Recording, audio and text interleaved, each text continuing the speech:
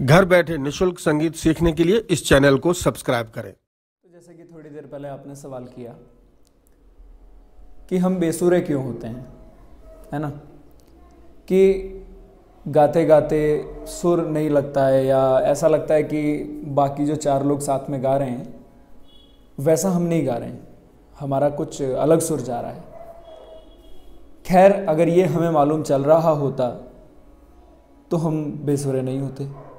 लेकिन ये आपको कोई और रियलाइज़ कराता है कि आप सही नहीं गा रहे हो कुछ गड़बड़ हो रहा है साथ में नहीं गा रहे हो तो आपको भी लगने लगता है। रियलाइज़ कराना इन द सेंस यानी आपको लगने लगे। बा, बाकी तो बताना होता है। मैंने कहा कि भैया आप सुर में नहीं हो। ये चार लोग गा रहे हैं आप भी साथ में गा रहे हो तो वो सुर में नहीं लग रहा है। तो वो तो बताना हुआ। लेकिन ये चीज़ अगर आपको एहसास हो गई तो तो कोई चीज़ का मतलब है। इसका मतलब आपको वो चीज़ समझ आ रही है। है ना? यानी कि सुधार की उम्मीद है है ना? कि वो आपको अगर चीज़ समझ आ रही है कि हाँ मैं गलत कर रहा हूँ तो सुधार की उम्मीद है, ठीक है? ये आपका नहीं, बहुत से लोगों का सवाल है कि हम बेसुरे क्यों होते हैं, है ना? अकेले गा रहे हैं तो बढ़िया गा दिया, लेकिन साथ में गाया तो बेसुरे हो गई। एक ये भी चीज़ होती है।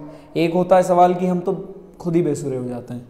एक होता है सवाल कि हम साथ में गाते हैं, किसी के तो गा नहीं पाते। डुएट गा रहे हैं तो बेसुरे हो रहे हैं। इसके भी कई कारण हैं। देखो, हमने बेसुरे को कैटेगराइज्ड कर दिया है। उसके हमें अलग अलग मीनिंग निकालने पड़ेंगे कि कहाँ हम बेसुरे होते हैं, कितने होते हैं, वो भी डिपेंड करता है।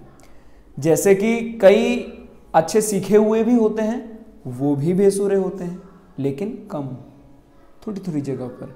कहीं कोई मुर्की ली तब बेसुरे हो गए।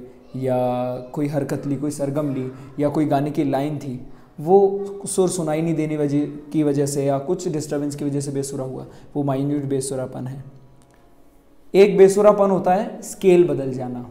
वो बेसुरा नहीं होता पर्टिकुलरली स्केल बदल जाता है गाने का। और ये होता है ज़्यादातर अंतरे के वक्त।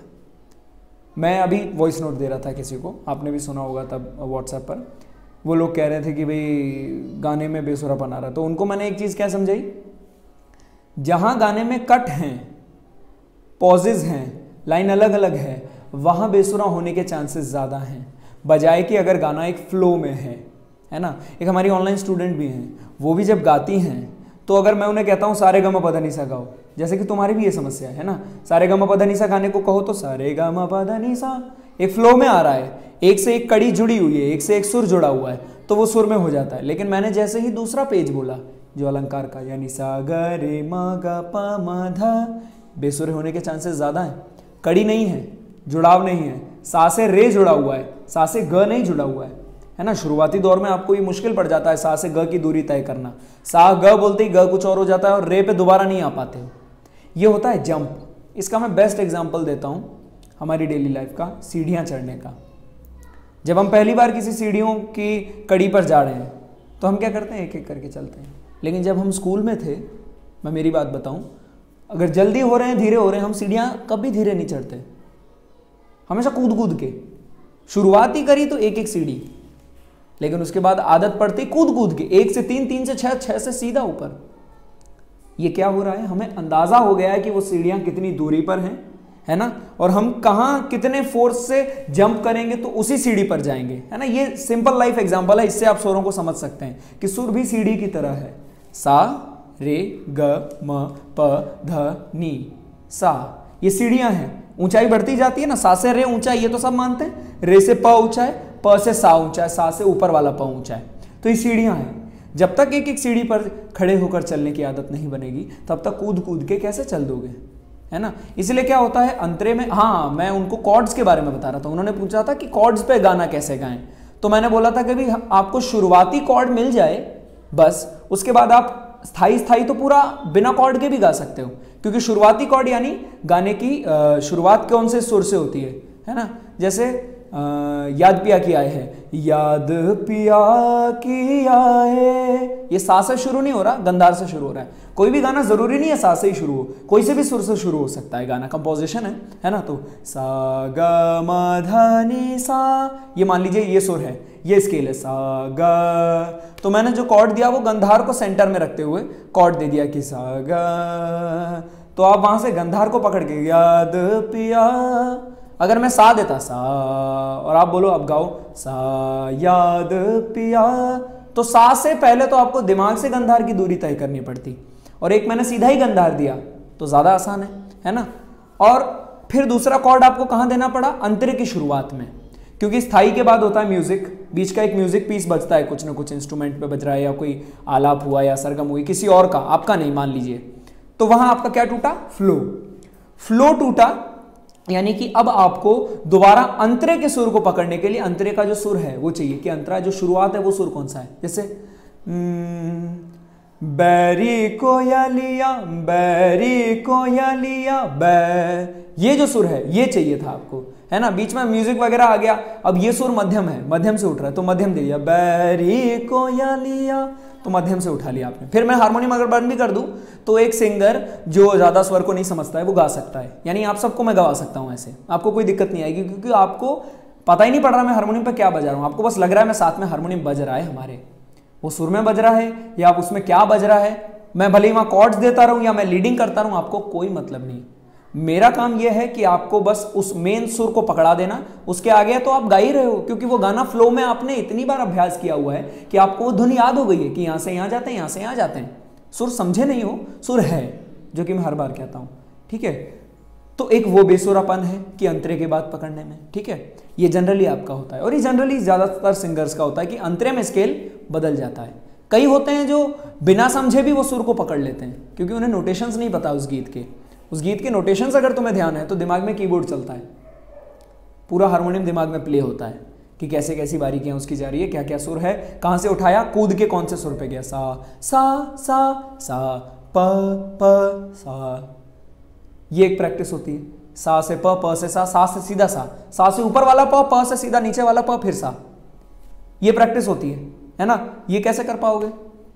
ये मैंने हारमोनियम में भी लीपिंग एक्सरसाइजेस के नाम से एक फास्ट हारमोनियम टेक्निक्स जो प्लेलिस्ट है है ना, उसमें दे रखा है लीपिंग एक्सरसाइज है। उसमें भी मैंने बताया कि जो प्रैक्टिस है है ना, सा से एकदम खरज का सा उठाओ, पहली काली से, सा सा सा सा, फिर रे रे रे रे।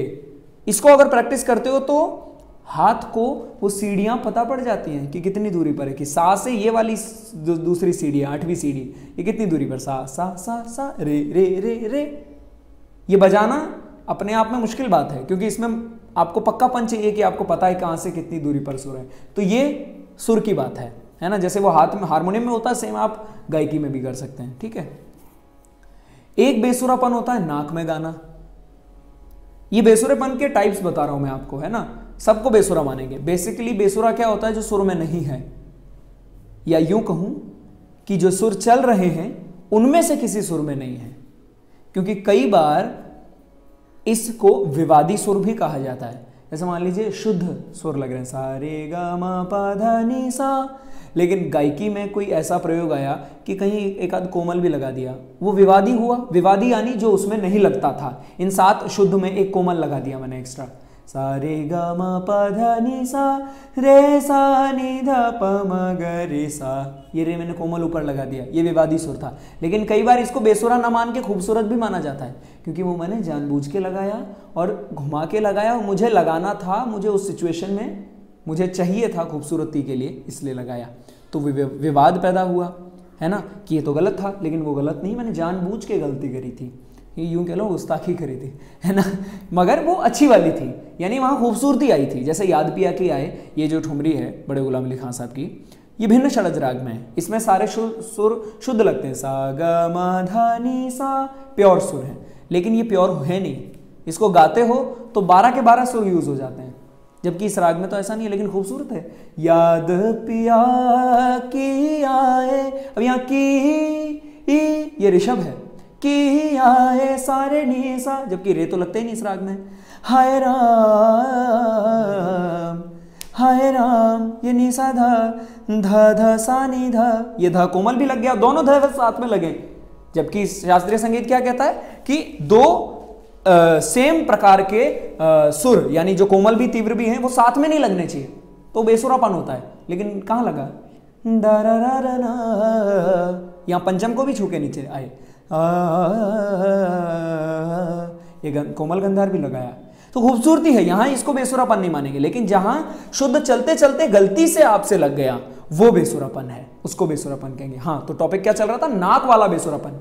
ये बहुत सारे लोगों की समस्या है कि गाएँगे आ, आ, आ,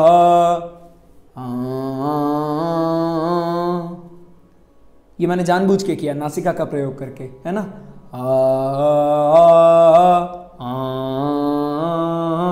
एक तो ये नासिका बहुत ज़्यादा है। आ, ये लिमिट है। उसके बाद हल्की हल्की। ये हल्की वाली है है ना? तो इसको दूर करने का क्या इलाज है? एक ही इलाज है मुँह खोलकर रियाज करिए है ना? आवाज़ को खोलने के लिए, दबी आवाज़ है आपकी, उसको फोर्सफुल पंचफुल बनाने के लिए मुँह खोलकर रियाज करना पड़ता है। सा, का, अ, उ, ओ उम, ये पाँचों अक्षरों का जो आप सभी करते हैं।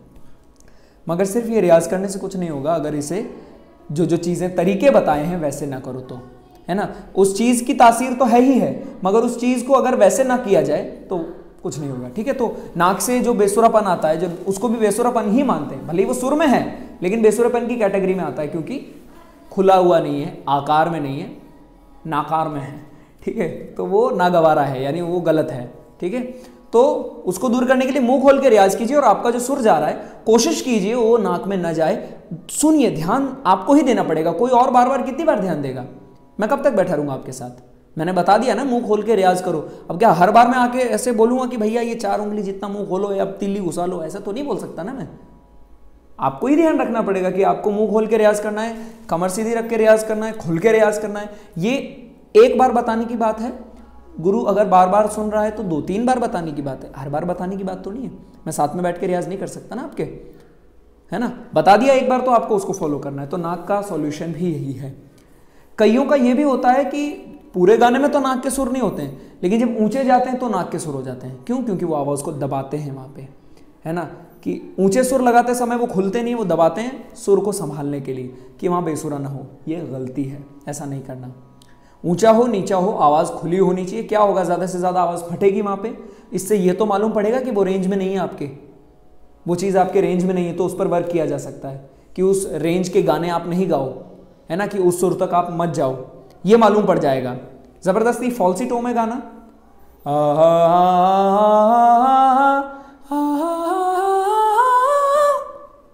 ये फॉल्सी होती दूसरी। दूसरा सब तक भी आप चले गए लेकिन ये गलती है। ये गलत है। ये वेस्टर्न म्यूज़िक है। वेस्टर्न आपने सिंगिंग सुनी होगी तो वो ऐसे करते हैं। बट हम वेस्टर्न थोड़ी हैं। हम तो इंडियन क्लासिकल गा रहे हैं और हमारे जो गाने हैं वो हिंदी हैं। हिंदी हैं। थोड़े बहुत कहीं ना कहीं क्योंकि कितना भी कर लो, शास्त्रीय संगीत पर आधारित हैं। क्योंकि सुर तो कहीं आप वेस्टर्न नहीं ला सकते ना। कितनी वेस्टर्न बीट उनमें डाल देना। गीत सुगम रहेगा इंडियन ही रहेगा। आप वेस्टर्न नहीं बना सकते हिंदी गानों को। उनकी धुन का जो चलन होगा वो हिंदी ही होगा, हिंदुस्तानी ही होगा, है ना? तो उसमें गायकी भी हिंदुस्तानी होनी चाहिए। शब्दों की तो खैर क्या ही बात करूँ मैं, लेकिन गायकी तो हिंदुस्तानी होनी चाहिए, है ना? तो मेरे ख्याल से ये छोटे मोटे बेसुरेपन हैं, और अगर आपको लगता हो कुछ आप जानना चाह रहे हो, आपका और कोई बेसुरापन जो आपको लगता है, आप आप में से किसी के भी मन में आता है। ये मेरे ख्याल से, मेरे हिसाब से जितने मुझे अभी याद आ रहे, आते जा रहे हैं, मैं बताता जा रहा हूँ कि ये बेसुरेपन है। बाकी आपकी क्या समस्या आती है? जैसे आप अगर चार लोगों में बैठ के गा रहे हो तो आपको क्या लगता है क्या समस्या आती है? सुबह जैसे कर रहे थे उस टाइम पे मैं अलग हो रहा था। हम्म। मतलब अलग हो रहा था आपको आप भी खुद मेरे को इशारा कर रहे थे कि हाँ अलग हो रहा है। हम्म। हाँ चलो ये अच्छा वो याद दिला दिया कि इसको और एक इसको दूर करने का एक और तरीका है। डाउन हो रहा था या हाँ, हो रहा था। हाँ वो जो जो स्केल चल रहा था आप उसको सुन नहीं पाए समझ नहीं पाए इसीलिए नहीं कर पाए ठीक है? समझते कैसे हम? सुनकर। अगर मैं बोलता रहूँ, आप बोलते रहें। मैं कुछ बोल रहा हूँ, आपको कुछ समझ नहीं आएगा। आप क्या बोल रहे हो, मुझे कुछ समझ नहीं आएगा। क्यों? क्योंकि कम्युनिकेशन लगातार होता जा रहा है। आप बोल रहे हो, मैं बोल रहा हूँ, आप बोल रहे हो, मैं बोल रहा हूँ। बहुत ही फ़ेमस कहावत है। तानसेन बनने से पहले कानसेन बनना ज़रूरी है। कानसेन यानी सुनना बहुत ज़रूरी है। मैंने खुद ने कई सालों तक गायकी नहीं करी थी। सिर्फ़ हारमोनियम वादन किया, सिर्फ़ बजाया, सुरों को समझा, थाटों को, अलंकारों को स्केल्स को, रागों को, गानों को बजाया, सिर्फ़ संगत करी, है ना? सोलो बजाया, गायकी नहीं करी। जब थोड़े बहुत समझ आने लगे, जब मालूम पड़ने लगा कि हाँ यहाँ यहाँ गलती होती है, तब गायकी शुरू करी। गायकी शुरू करने से पहले एक बार आपको ये कंफर्म हो जाए कि आप गलत कर रहे हैं तो बेटर होगा। इससे क्या है? उम्मीद होती है सुधरने की। है ना? बाकी गलत ही करते जाओ करते जाओ और आपको मालूम ही नहीं पड़ रहा है कि गलत हो रहा है तो कोई उम्मीद नहीं है। ठीक है? तो अगर इस समस्या को दूर करना है, मैं ये कईयों को कहता हूँ, आपको भी कहूँगा, सभी को कहूँगा, सुनना शुरू करो, गाना बंद करो। मुश्किल है? मुश्किल है कंट्रोल करना, लेकिन यही एक तरीका है। बाकी इस धरती पे आपको कोई सुर में नहीं ला सकता, अगर आप गाते ही रहोगे। अच्छा जब किसी का कोरस देते हैं या कोई कंपोजिशन चाहिए, जैसे मेरे साथ ये अक्सर होता है, कोरस बैठा है तो क्या कर रहे हैं? मैं गा रहा हूँ, वो भी साथ साथ में गा रहे हैं। तो कंपोजिशन उन्हें कैसे याद होगी? जब सुना ही नहीं उन्होंने बराबर तरीके से। पिताजी कहते हैं, भाई, एक गाना अगर आपको करना है, फिल्मी गाना कोई सा, सौ बार सुन लो, हो जाएगा। क्यों कहते हैं? क्योंकि सुनने से उसकी कंपोजिशन धुन, बारीकियाँ सब मालूम पड़ेगी किससे? सुनने से। तो नहीं सुनोगे तो कैसे चलेगा? तो उन सुरों को सुनना पहले ज़रूरी है कई समय तक। अब ये सबकी अपनी अपनी कैपेसिटी ग्रेस्पिंग पावर किस्मत डेस्टिनी है कि उनको कब तक सुनना चाहिए और कब तक वो आ जाता है उनके दिमाग में, बैठ जाती है चीज़। बस सुनते रहिए, आ जाएगी, उस दिन आ जाएगी, नहीं आनी है तो नहीं आएगी, है ना? और इस चीज़ को बस मान के चलिए कि आएगी। निराशावादी मत बनिए कि नहीं आएगी। कि ये कई स्टूडेंट्स आ जाते हैं मेरे पास ऑनलाइन भी ऑफलाइन भी, कि हम नहीं हैं सुर में, क्या करें, बेसुरापन कैसे दूर करें? सुर नहीं समझ आ रहा है। सुर किसको समझ आया आज तक? उसकी सच्चाई तो कोई नहीं समझ पाया ना। पर हम कहीं ना कहीं तो उसके करीब पहुँच रहे हैं एटलीस्ट इतना पहुँच जाए कि हम माइन्यूट बेसुरे ना हो, है ना? मतलब एक ओवरऑल स्केच हमारा सही हो जाए। बाकी जो बारीकियाँ हैं, वो तो सुधरते सुधरते, सुधर जाएँगी अनुभव से। बाकी एक बारीकी तो हम समझ जाएँ एक क्या ओवरऑल स्केच कि हाँ ये बेसुरापन इसको कहते हैं सुरीला, ये है, ये वो है, ये बाकी ये सारी चीज़ें मेरा अनुभव है जो मैं शेयर कर रहा हूँ आपके साथ, है ना? तो मेरे ख्याल से आपको सबको समझ आ गई होगी चीज़। तो कैसे बेसुरापन दूर करना है? सुनना है ज़्यादातर, है ना? नाक की आवाज़ कैसे दूर करनी है? मुँह खोल कर रियाज करना है, उस पर ध्यान देना है। और गानों को कम गाएँ क्लासिकल का ज़्यादा रियाज करें। तो गले में जो मुर्कियाँ, हरकतें होती हैं ना, गायकी अगर आपके कंट्रोल में नहीं है तो वो किसी काम की नहीं है। समझ रहे हो? सुर में होना यानी कंट्रोल में होना। जो मैं हमेशा कहता हूँ ना, उसका ये जवाब है कि मैं कहता हूँ कि आपको लय आती नहीं, आती है, समझ नहीं आती। सुर आता है, समझ नहीं आता। इसका क्या जवाब है? लोग कहेंगे कि फिर सर, समझ आना मतलब क्या? मतलब कि वो आपके कंट्रोल में हो। अगर आप सुर को समझते हैं, ये मेरे दिन में मेरे विचार चल रहा था, मंथन हो रहा था। कल ही मैंने जो परसों शायद वीडियो दिया इस पर किसी ने सवाल किया नहीं, मेरे ही अंदर ये सवाल उठा कि लोग ऐसा पूछ सकते हैं कि सर, फिर समझ आने का क्या मतलब है? तो अगर आपको सुर समझ आता है तो सुर आपको हर जगह दिखेगा। सिर्फ़ गाने में नहीं, वादन में भी दिखेगा। सामने सितार बजा रहा होगा, वो भी आपको समझ आएगा, क्योंकि उसमें भी सुर बज रहा है। संतूर में भी सुर समझ आएगा, सारंगी, वॉयलिन कुछ भी बज रहा हो, तबले की ट्यूनिंग में भी आपको समझ आएगा, अगर आप सुर को समझते हो। आपको सुर सिर्फ़ आता नहीं है, समझते हो। लय समझ आ रही है तो अगर पंखा भी चला है तो भी आप लय पकड़ लोगे। गाड़ी भी चल रही है ना तो पता पड़ जाएगा हाँ ये एक लय जा रही है, इसके हिसाब से मैं देखो ये दो गुण करके दिखाता हूँ। ये है समझना कि जब समझ आता है, तब आत्मसात हो जाता है, आदत बन जाती है, लय और सुर। आदत बनना हर जगह नज़र आने लगता है, नेचर में। है ना? एक दिन तो हम गुरुजी के यहाँ बैठे हुए थे, तबला क्लास थी। जो स्केल चल रहा था, अचानक मतलब घर है, बाहर सड़क पर, अभी जैसे हम यहाँ बैठे हैं, बाहर सड़क पर एक गाड़ी गुजरी। उसने हॉर्न बजाया। मैंने कहा, सर, ये हॉर्न भी इसी सुर में बज रहा था। इसी सुर में बज के गया। पांचवी काली पे ही वो हॉर्न बज के गया। अपना ये गेट है ना बाहर का नोट करना कभी, पहली काली पे बजता है। सुबह रियाज करते समय कभी नोट करना, जब सुर चल रहा होगा। कोशिश करना कि जो गेट की जो जो आवाज़ आती है, वो पहली काली का सुर है। ये सुर हैं। अगर आपको समझ आते हैं तो नज़र आएँगे हर जगह। लय है। समझ आती है तो हर जगह नज़र आएगी, आप करोगे। कहीं भी करने लगोगे। कहीं हिचकिचाओगे नहीं। है ना? तो वो सारी चीज़ें हैं, बाकी तो संगीत बरसों पुराना है। और इतना फैमिलियर है कि हर कोई गाता है, हर कोई बजाता है, हर कोई कर सकता है। इसीलिए हर कोई गाना निकाल लेता है, हर कोई गाता गुनगुनाता है। इतना फैमिलियर है। ठीक है तो खैर मेरे हिसाब से आप समझ गए होगे। सीखने की आवश्यकता है अभ्यास की आवश्यकता है। हमसे जुड़ने की आवश्यकता है। संगीत प्रभा वर्ल्ड के अगर व्हाट्सएप नंबर आपको स्क्रीन पे आ रहा है, अगर जुड़ना चाहते हो तो मैसेज कर दीजिए और थोड़ा वेट कीजिए रिप्लाई का, क्योंकि रिप्लाई में टाइम लगता है, काफ़ी मैसेजेस हैं। वरना सब चीज़ें हमने ऑनलाइन दे रखी है, जो भी सीखना है टाइप करके साथ में संगीत प्रभावल डाल दीजिए। सीखते रहिए और सब्सक्राइब कीजिए चैनल